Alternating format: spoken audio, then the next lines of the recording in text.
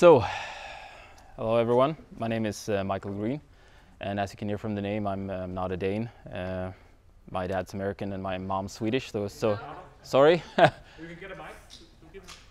Or I can also talk louder. Is this uh, is this enough? Okay, great. So, uh, like I said, I have a little bit of mixture. Uh, my English is okay. My Danish is horrible. So it's actually good that I'm uh, giving this in English. Um, I'm here to talk to you about how to actually integrate AI into your into your business and what it actually means to integrate it. Because there are several different versions of how to do that, and there are unfortunately more ways to fail than to success. And uh, and I'll tell you about some of the failures that I've personally created, and uh, so that you can avoid doing them. And uh, I will also tell you about some of the things that I have tried that actually worked. Uh, what we'll go through is basically a short introduction, uh, reiterating what we already heard about the AI hype. Uh, everybody's doing AI today, and it's, it's a reason for that. And that's that AI has come to mean basically everything that involves computers or math or a combination thereof. basically, everything that strives from making a multiple lo- logistic regression model to taking two averages and comparing them. So everything is AI, which also means that almost nothing is AI. So I'm going to try to be a little bit more specific about what you need to solve your specific AI problem. The strategy that you need to employ to actually make sure that the entire organization is streamlined towards this goal uh, is also very, very important. And that actually comes before setting the organization. You have to have the strategy in order first. Um, so a little bit about me. Why, why am I here? Why do I think that I have uh, something to offer in this space? Uh, well, that's basically because I have tried to apply AI, sometimes successfully, sometimes unsuccessfully, to a lot of different fields. I started back in, uh, in the early 2000s uh, building AI for robots. I actually taught small robot dogs how to play football. I even competed in the World Robotic Soccer Championship. And I didn't win. uh, I came in third. Um, and the task at that time was to get this tiny little robot to see the ball, you know, just see the ball and slowly move towards it. And I had approximately two CPU cycles to, to achieve that. So it was a lot of C++ programming, a lot of embedded problems, a lot of specific SDKs made by Sony, God bless them, um, and a robot that just neglected to do what you wanted it to do. So at that time, it was probably one of the smallest neural networks that I've ever built, but I did succeed to actually make the robot recognize the ball in a very controlled environment and actually shoot it into the goal. Just too late. Um, the ambition of this entire incentive with robotic soccer is to, by the year 2050, build a soccer team that is capable of beating the world champions, the human world champions, that is. And uh, towards the end of this talk, you might get a feel for whether or not that is a realistic agenda. Uh, after, after that, I actually started building uh, software for, uh, for physicians to, to help them make better decisions regarding if a person has the, you know, not possibility might be the wrong word, but risk of dying of acute coronary syndromes. That's a collective name for a lot of different heart diseases. So physicians today they get a lot of patients in, and they might uh, you know have chest pains or abdominal pains, or they might have a weird e- ECG. There might be many different things that are, that are wrong with them, right? But it's very very hard to detect what the actual cause is. So at that time we built the neural networks to help the physicians get better at this, and it actually turned out that the models we built were way better than the best physicians uh, in the world together. The problem was that in the early 2000s or mid 2000s, hospitals were not ready to use AI to make decisions, not even ready to use AI to aid decisions. So I learned a valuable lesson there that even if you have a technology that solves a problem, that doesn't mean that people will adopt it. So adoption is, is also key. Even if you have solved the problem, that doesn't mean that people will magically buy your product or even want to use your product. So adoption here is key. At SimCorp, uh, I basically built uh, models for trying to predict prices of, uh, of different assets. Uh, that was a lot of Monte Carlo, uh, a lot of other stuff that relates to how can we actually make an edge for our investment strategies. Again, a completely different area, but core to that is still the AI part. At GroupM, I solved marketing problems using AI. And that actually also went pretty well. And it went so well that we went to, uh, to the big guys and said, hey, this actually works pretty well. Why don't we use that instead of humans to plan media? And uh, that I then realized that that was not the business model uh, of the company I was working for. So uh, uh, that also sort of started and spun off the idea of, of, Blackwood Seven and the idea that you could actually automate this. And Blackwood Seven was started back in 2013, which was a pretty interesting journey. We took that company from, from just a few employees to, to a 220 man strong company in, with offices in many different areas of the world. And one of the most important things is that we changed that company from being sort of a media and tech company into an AI first company that really cared about developing something that solved this very domain specific problem. And uh, I'm actually quite open with my opinions uh, and criticisms of, of, AI. So there's, uh, you can Google it if you want to read it if you're interested. Uh, if you're not, then then then don't. um, I also have uh, gotten the feedback that sometimes I come across as a bit of a bit of a negative person with respect to utilizing AI. And let me clear that from now on. I want everybody to use AI. I just want people to be responsible and careful and actually think about the consequences. Because much like uh, Elon Musk, I mean, I don't agree with him, but he does have a point. Uh, just mindlessly deploying technology without thinking about the consequences, that can eventually bite you in the butt. And it could be a good idea to think about that. So that leads me to the AI hype trap. And just like Anna showed you, there's, there's sort of a curvature here, right? And, and it's very familiar. And right now we're at the top, top, top, top. Everybody believes that whatever problem you have, you can just take AI and throw it at it, and it will magically solve it. This is not the case. Let me, let me just say that, that is not the case whenever you see sort of a, a, GitHub repo and you download a Python script, you, you run it and you see that, oh, there's an image and it detects stuff.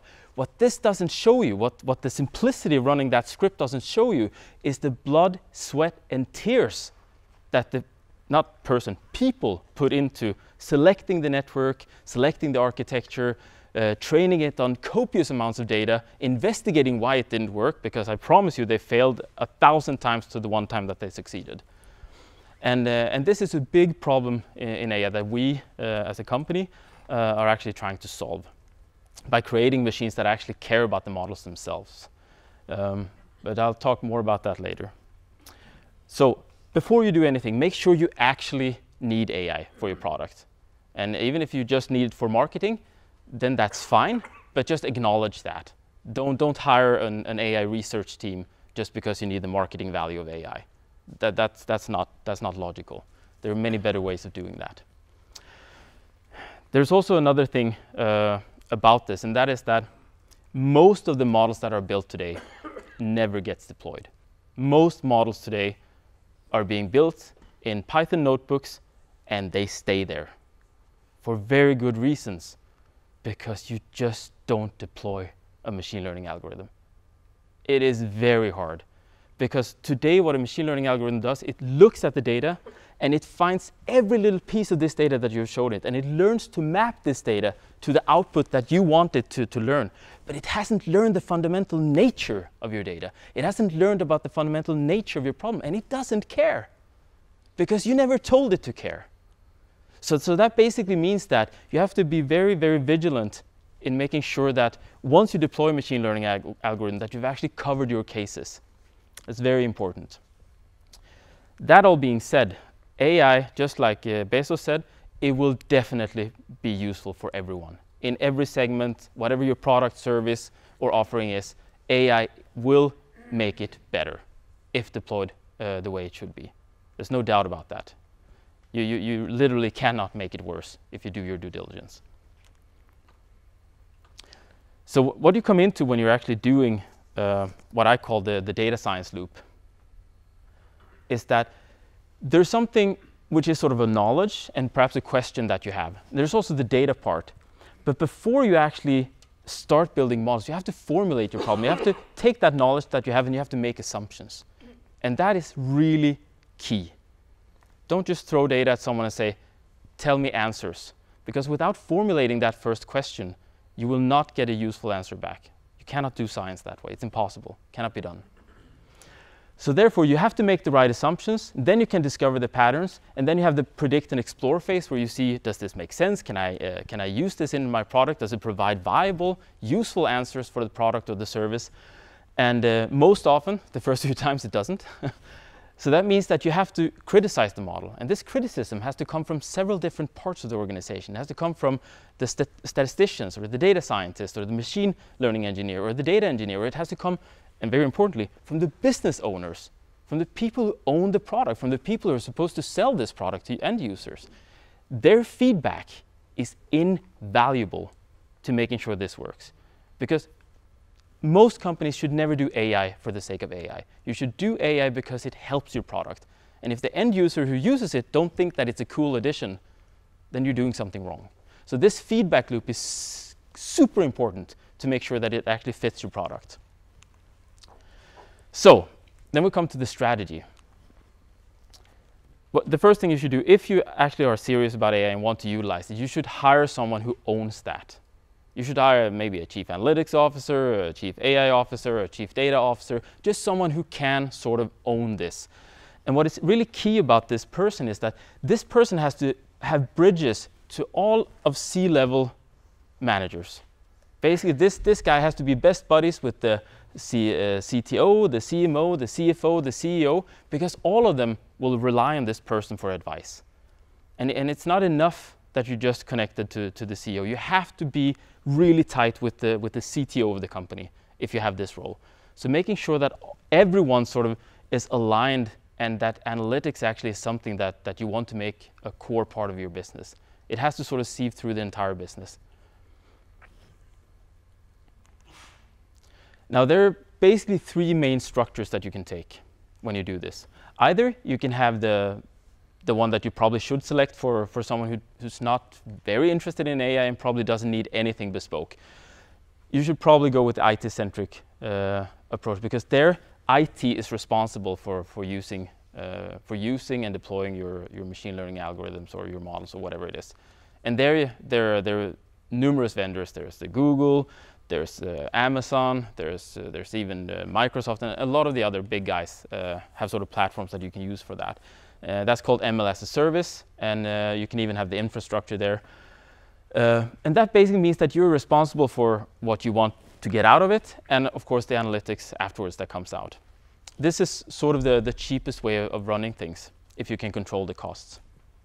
The second part is the integrated structure. That's when you want a bigger ownership of your, of your AI. That's when you really want to look at, can I actually tweak this model? Can I actually make something um, more bespoke for, for my business? Maybe I can develop a small part that's used together with the, with already existing uh, topics.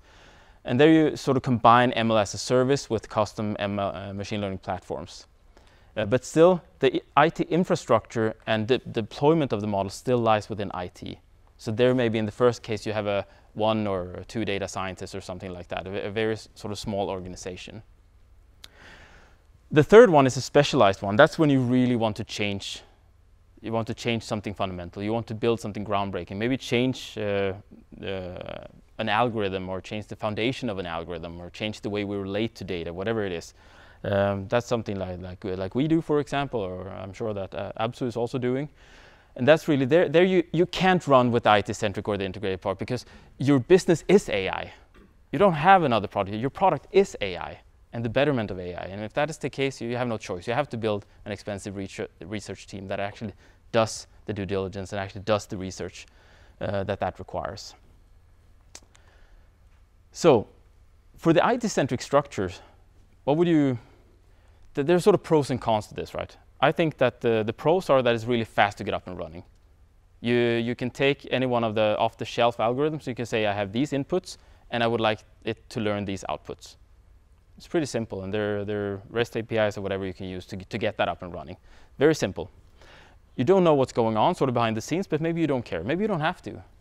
Um, but there are also sort of cons, and that's you have to pay for everything, right? Since, since it's a platform, you, you pay for training of the model, you pay for the data storage, you pay for the outputs probably, and you just pay for a lot of things because uh, Amazon is, has built a, a, nice business around this, and, and, many of the other platform businesses also have. So this can quite quickly become expensive if you don't control the experiments that you run.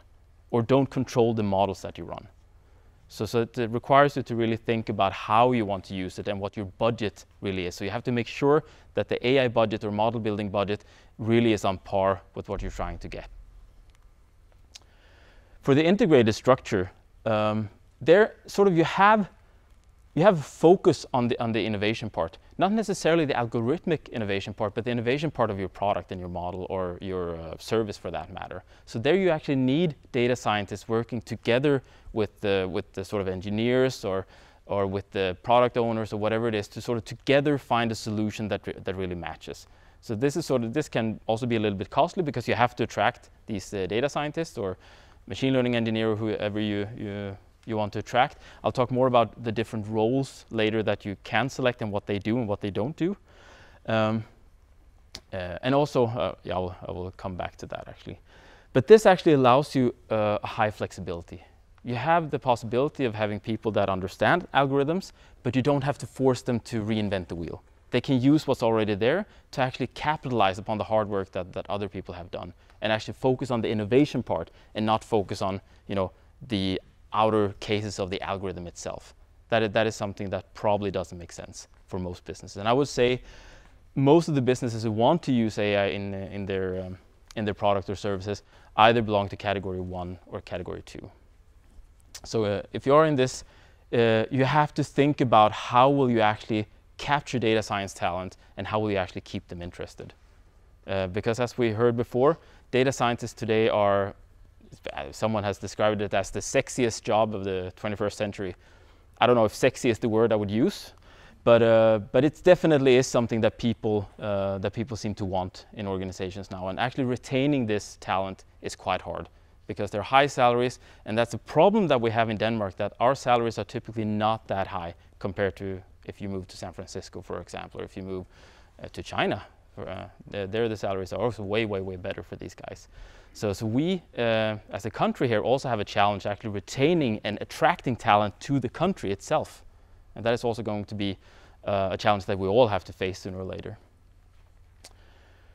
So the good part about this, uh, or one of, the, one of the bad part, is actually the cross silo. Uh, you have to make sure that the data science team actually talks together with the rest of the organizations, that you don't, you don't consider them as, as a separate thing that just you know go do your stuff and then afterwards we'll use that. That doesn't work. You have to have a very tight collaboration. Otherwise, they will invent lots of cool stuff, but maybe maybe nothing is useful in the end. That happens. Uh, the specialized structure is uh, is of course what it sounds like. That is a highly targeted team, targeted only towards algorithms development, sort of describing what's the best way to relate to data. Uh, so that takes an approach that, that is, you know, what is intelligence? How, how, how, do we, how do we even approach this topic? And can we make something better than what we have today? Uh, that's really what these guys should do. And, uh, and most businesses uh, will probably not need to do that because there's also, unless you, you get very, very, very good people within this, this area, there's a high risk of failure. Um, and, uh, and actually the other day, we, I mean, I say that there's a shortage of these people, but uh, there's not a shortage of applications for these uh, for these different uh, positions that, that, that you have.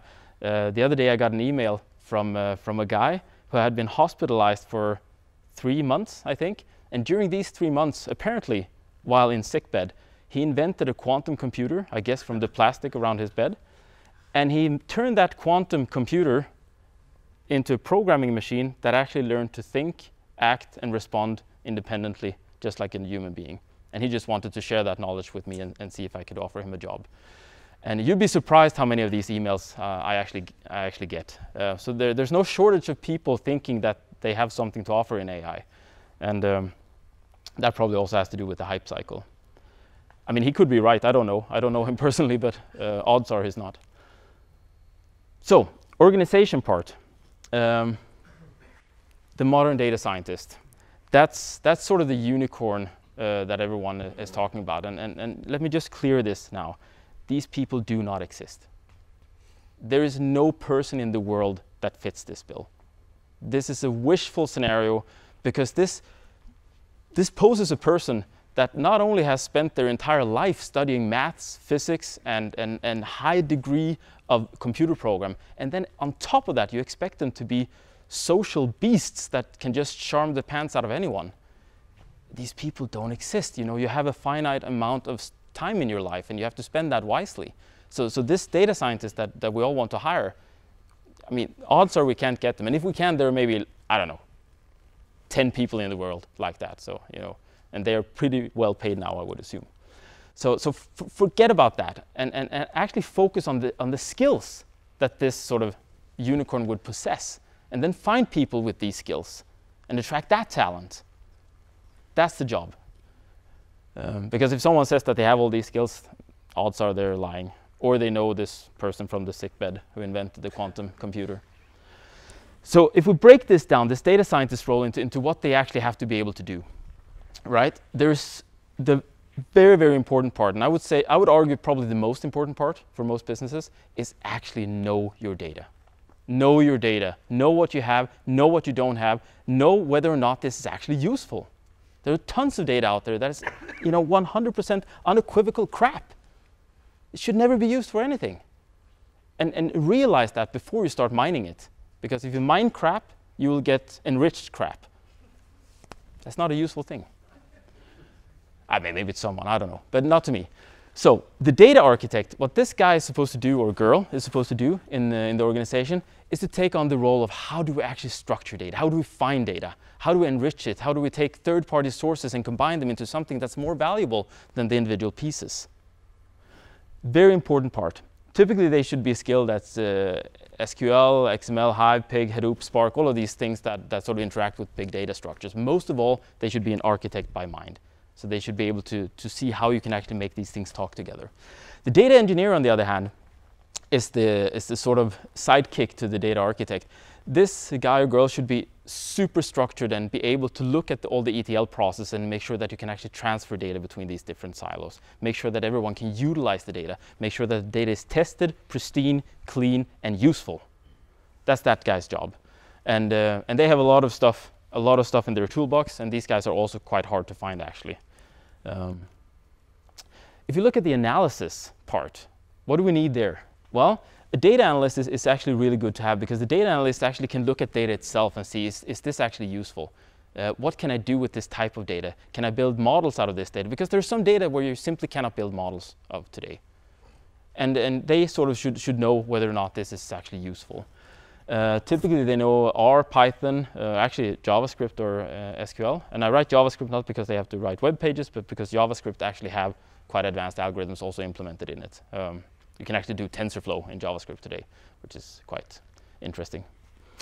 On the other side, you have the business analyst. This, this person should be able to, to look at the business as a whole. Does it make sense for me to actually engage with this track? Should I, from a business perspective, analyze this? And what does it mean for me as a company? What does it mean for my, for my customers?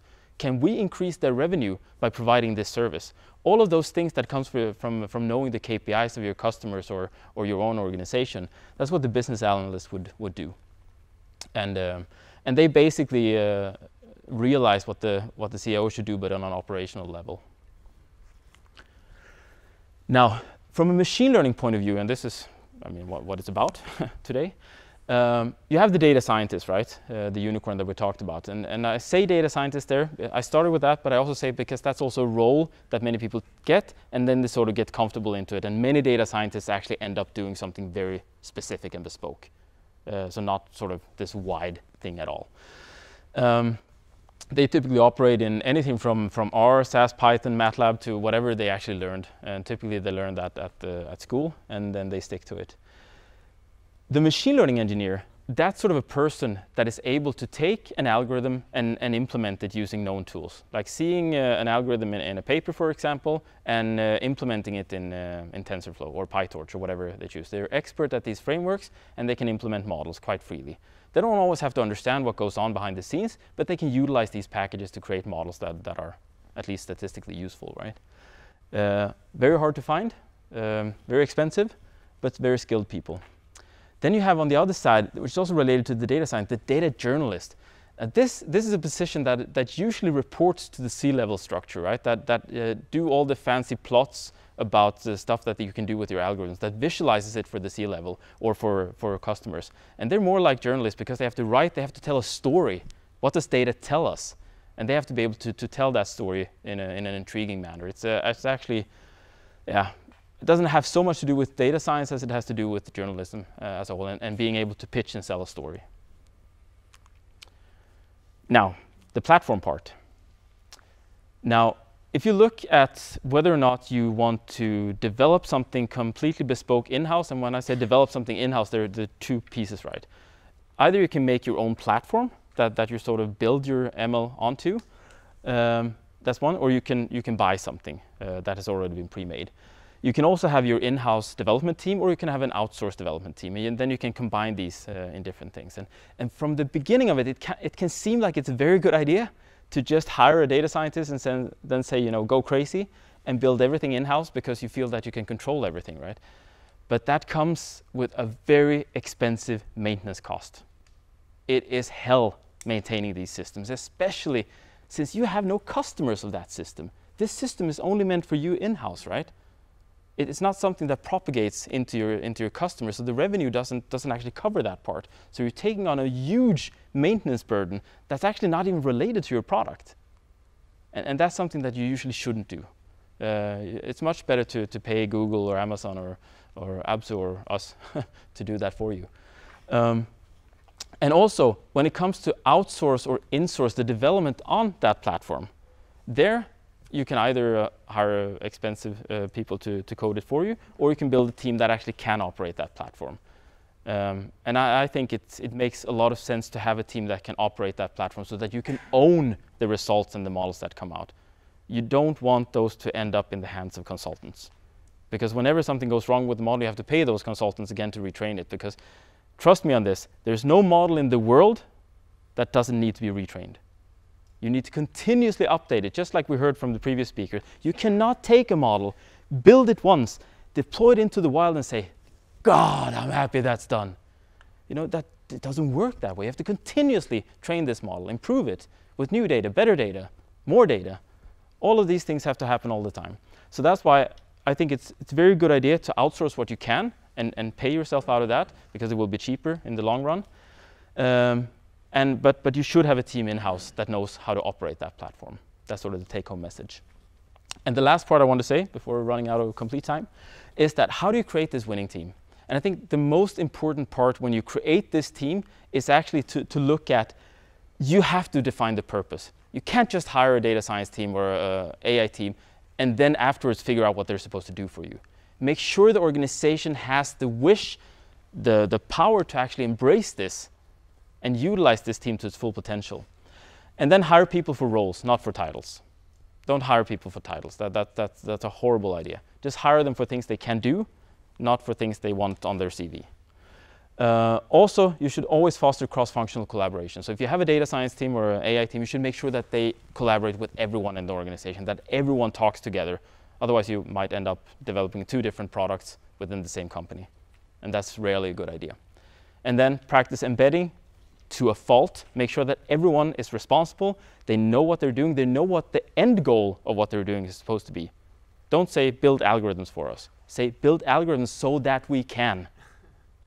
It's super important because otherwise you get data science people saying that I'm just building my algorithms and I'm happy with that, but they have no idea about the potential of how much they can improve the business. Because if they know that, you get champions in your organization. And champions is what you want in your organization to help you build, grow, and sustain that. And that's it. Thanks.